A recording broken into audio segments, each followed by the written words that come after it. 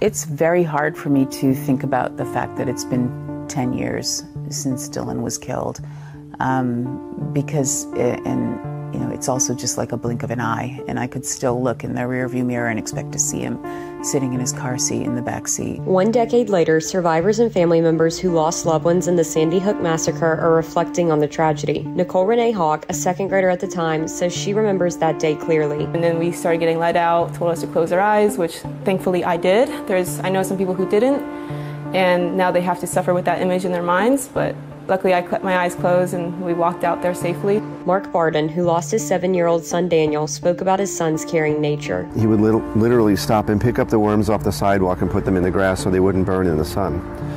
Or he would carry the big carpenter ants out of our kitchen because he thought he thought they should be outside with their family. The gunman killed 21st graders, six educators, and his mother before taking his own life.